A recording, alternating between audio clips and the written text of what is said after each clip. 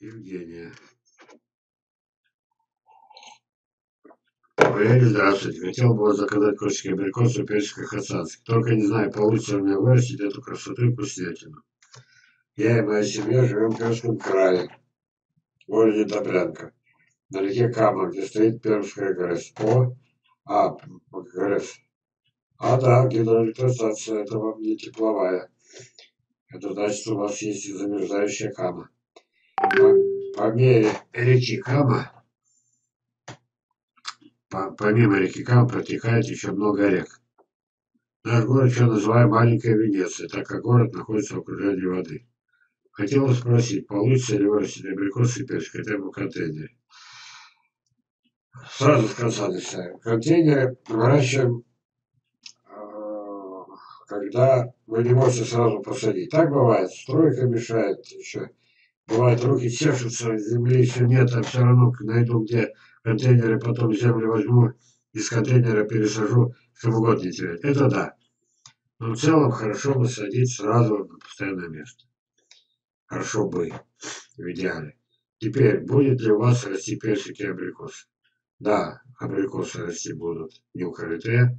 У вас Пермская ГЭС, возможно, она дает дополнительное тепло, возможно, микроклимат, возможно, десятки километров незамерзающие реки. Вот. Вполне возможно. А может, далеко от реки. Вот.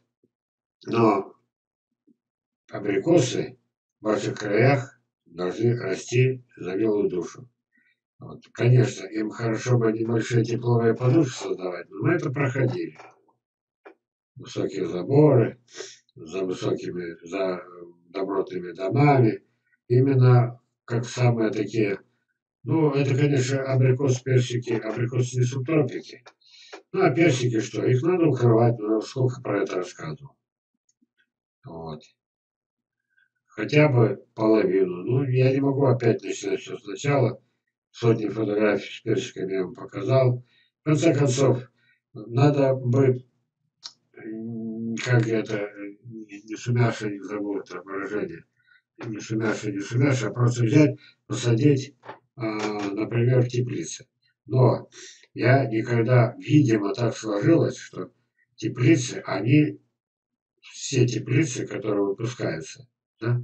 Я э, все-таки хотите персики вырастить? Давайте мы вот так сделаем. Вот я сейчас возьму, вот так, и напишу фото теплицы. Смотрите внимательно. Вот это фото. Посмотрите, сколько их. Вот. Если бы это было что-то, какое-то разнообразие, покажите мне фотографию, на которой были бы окна или то, что мы называем промуги, и то, что мы называем форточки. Ну, вы понимаете, что сама это все не годится для садоводства 100%. Так. И даже для овощеводства это получается невероятный гнойник. А потом помните, как было? Сюда заходят одетый как космонавт, полностью защищенный. В руках инструмент, который называется опрыскиватель, сзади баллон с ядом. Вот. А если бы были форточки? Покажите мне форточки. Кто ж это все придумал, а? Ну? Ой. Она это не форточка, это та же дверь. Просто, а, ну, хотя бы что-то есть. Кроме двери ничего не вижу. Поняли, да? Что я хотел сказать? Возвращаемся назад. Итак, персики очень легко выращивать в именно в этих самых, именно в этих самых. Вот. Сейчас я найду, не найду, сейчас, минуточку. Если вперед проскочить. Есть много интересных тем. Ага, вот видите, вот моя теплица. Я не собирался ничего в них выращивать. Но когда я прикупил этот участок, 10 соток за миллион, вот стоит себе из старых промок. Там 16 этих форточек, потому что они просто собирали из этих старых промок. И вот собрали. И каждая форточка у меня открыта. Из 16. Получается, воздух так, так, так, так, так, так, так. Единственное, не хватает, конечно, дождя. Вот это получается. А теперь вспоминаем Шаламай, Сахалин.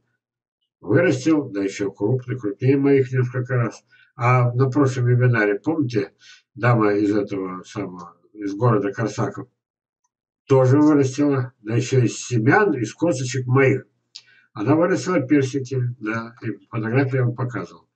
То есть, не хотите заморачиваться, но если вы купите вот эту ерунду, вот эту вот, здесь у вас она, персики сгниют. Просто сгниют. А я вам показывал фотографии, где моя помощница, ученица, и она же ученый человек, аспирант, значит, университета. Так.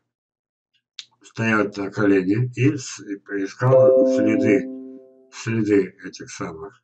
И когда еще листья зеленые были, когда упали, искала следы грибов. Не нашла. Вот такой мой ответ. Так, ну про абрикосы, косточки заказывайте абрикосовых персиков и не бойтесь ничего.